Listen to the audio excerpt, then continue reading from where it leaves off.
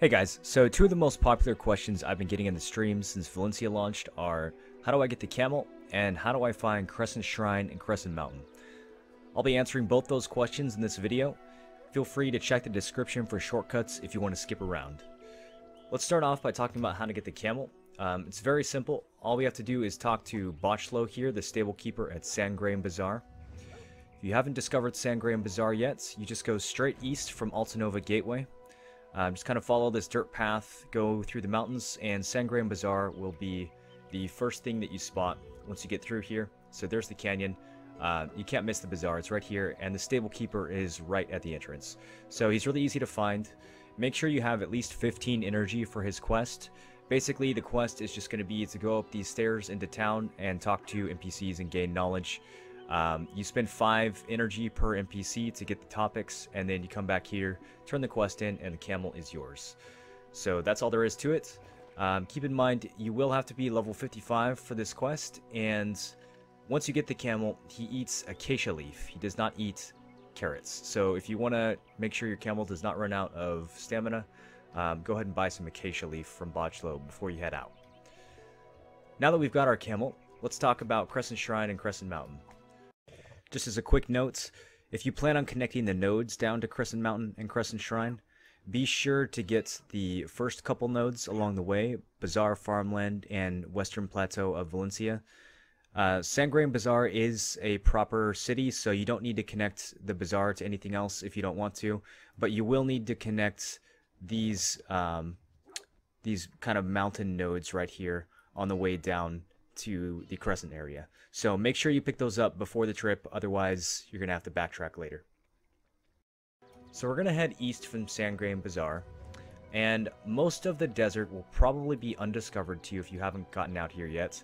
And even if you have discovered some of it, you can't actually see your location on the map once you get into the desert, so the map is pretty much useless. But just to give you guys an idea of where we're headed, this is Crescent Mountain, and this is Crescent Shrine. Basically what we're going to do is we're going to follow the mountains southeast until we find like a little kind of shanty thing that's going to be our first landmark that lets us know that we're on the right path. Uh, once we get to that, we're going to head south to this little pool of water right here, which is called the Oasis of Bless. And then from the Oasis, it's really easy to just kind of curve around the mountain here and find the entrance to the shrine, as well as the node manager for Crescent Mountain.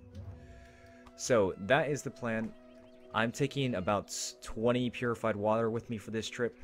Um, if you're wondering how much to take, in general, I would say 20 water per hour um, or 20 T for a night cycle should be more than enough. Um, you can do 30 if you really want to over prepare for it, but um, I haven't noticed that I actually need that much water when I go out into the desert. So we're going to head out here, and like I said, we're just going to be following this mountain ridge here. Um, I don't want to peel too far off into the desert itself. I want to pretty much hug this mountain range for most of the trip, so that's what we're going to do. Just kind of stick to the um, stick to the ground here. And uh, I am going to do a full uncut run, so if you guys want to skip ahead, if you don't want to see this whole thing, feel free to do so. Uh, I just thought some of you might appreciate an uncut run in case you've been getting lost on the way down here. So yeah, we're just gonna chill for a couple minutes, enjoy the scenery, and head down towards that little that little shack. It's gonna be our first landmark. It'll take um, probably another 30 seconds or so before we get there.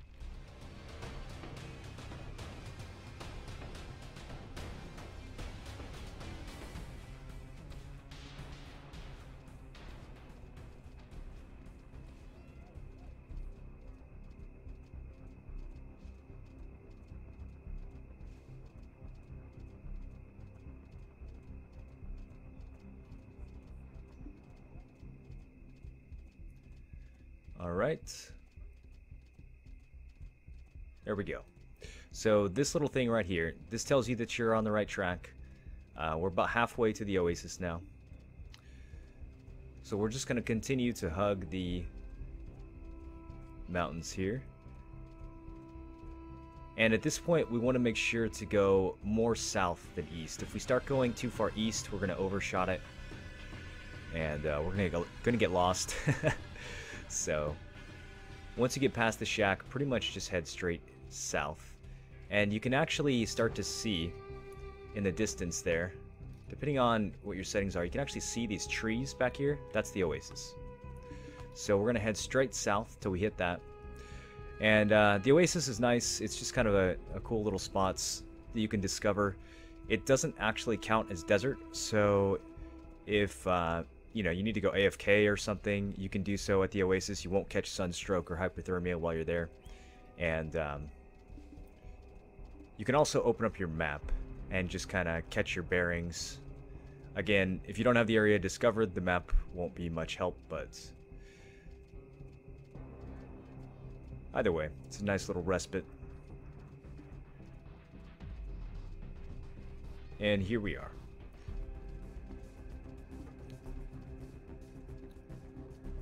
Oasis of Bless.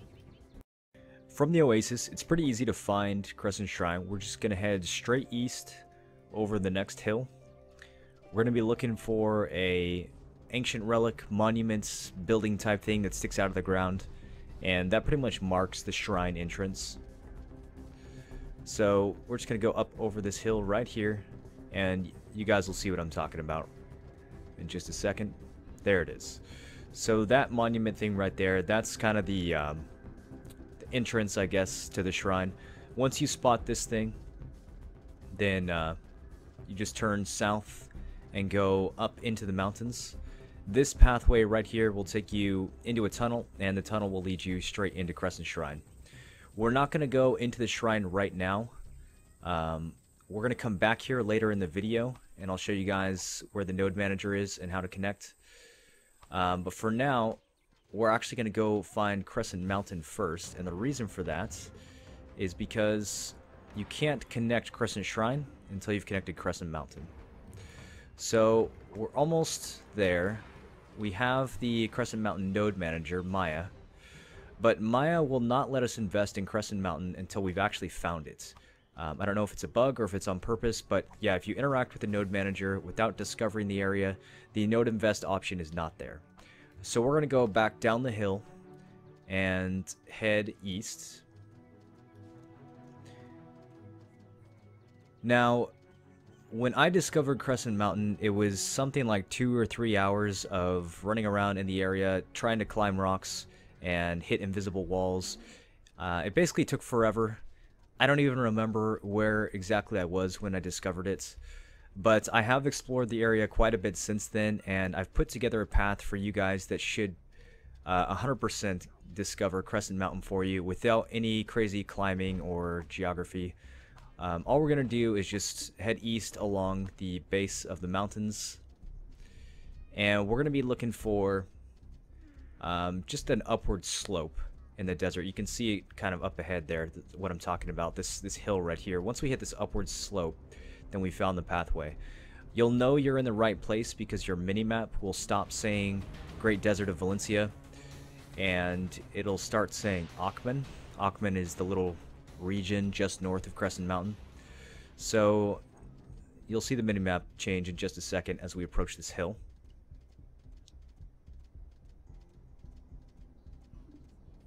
There we go. So now we're in Aakman.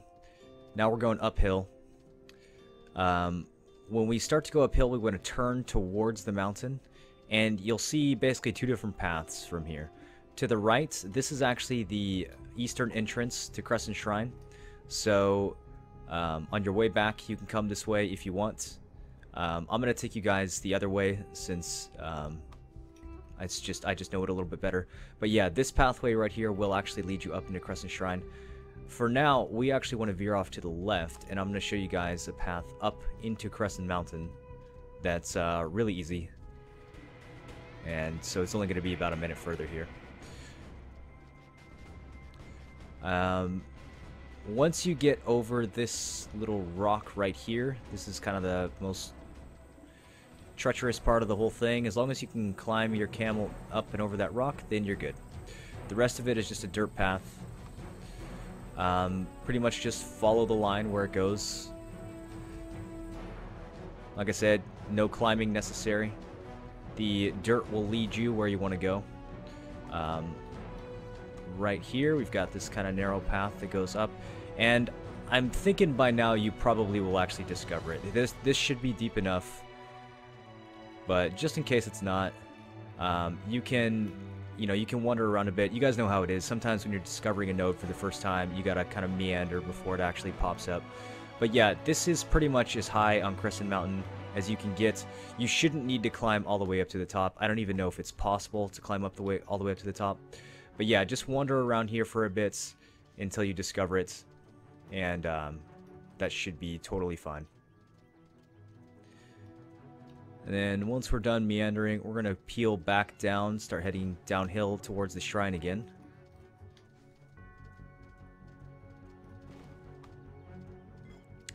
And uh, when I was exploring this earlier, I had my camel fall off the cliff a couple times, so you can see his health is kind of low. So we're not going to do that again.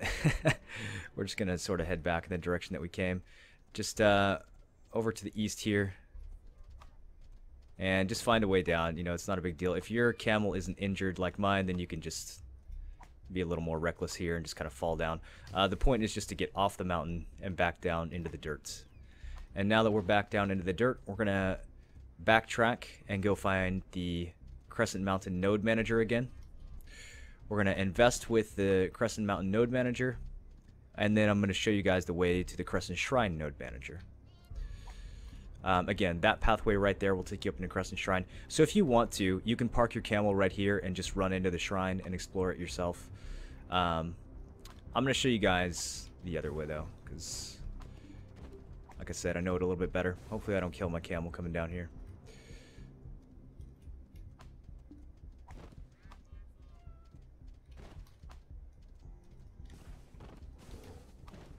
Alright. Good to go. So, same thing as last time. We're going to look for that ancient relic monument thing sticking out of the ground.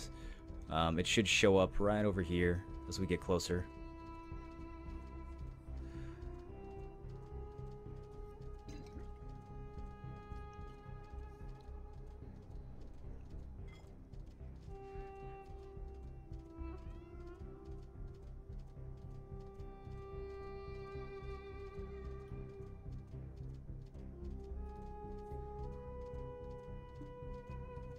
Pretty good ambience, actually. I normally have the music turned off for the stream, but uh, I like this. This is nice. Alright, there we go. There's our landmark. So now we're just, just like last time, we're going to head up towards this tunnel.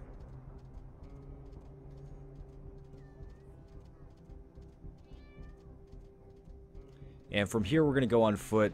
Do not ride your camel into Crescent Shrine. Um, the thing maneuvers like a potato. It will absolutely die. There's no chance that you will run this thing to the node manager and survive. Definitely do it on foot. So we're going to park right here. Again, the node manager for Crescent Mountain is right over here. So now that you've discovered Crescent Mountain, just uh, come right over here and invest in that node. Don't forget that there's also two iron nodes here. Um, these have rough black crystal as a rare drop, so if you're interested in that, that's a material you need for making reform stones and Grunil armor. Uh, you might want to invest in those while you're down here.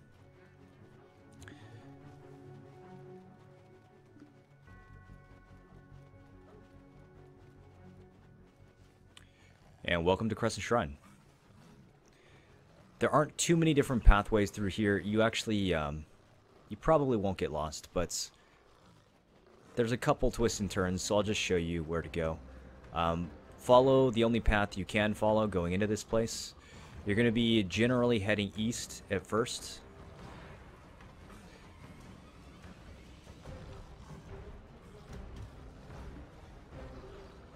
Uh, be careful running through here with anything less than 200 DP. The Crescent Guardians, these guys right here, will chunk you pretty hard um, if you don't have at least 200. I grind this place with 240 and it's not too bad. But yeah, just keep that in mind. So we've got our first turn here. Don't don't turn. Just keep heading east. Keep heading east.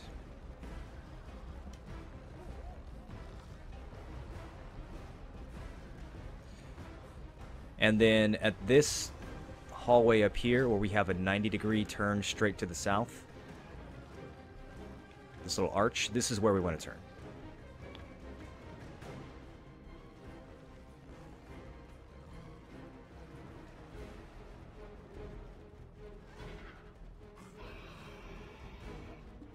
So we're going to come down here. Um, you might actually have been able to go the other way. I don't know. I just, I know this route works for sure, so this is what I'll show you guys. We're heading towards this big building right here. And then, uh, once we hit this big building, we just need to go off to the right and up the mountain, and the Crescent Shrine Node Manager is right on this little hill right here. You can already see, yeah, there he is, poking up. And there you go. Talk to him, invest in Crescent Shrine, start pouring all your energy here so you can get that uh, get that loot. And then just a little bonus, there's some quest givers up here that you might you might not notice. So yeah, come up and talk to these guys. I think the node manager might actually give you a quest to come talk to them and open up a, a couple quests. But yeah, you can get some kill quests in here to get yourself some contribution on top of your grind. But uh, other than that, that's pretty much it. So by now you have Crescent Mountain invested, you've got Crescent Shrine invested, you're all good to go. I hope this video was helpful. If you guys have any questions, feel free as always to leave a comment or stop by the live stream. Thank you guys for watching, and I'll see you again soon.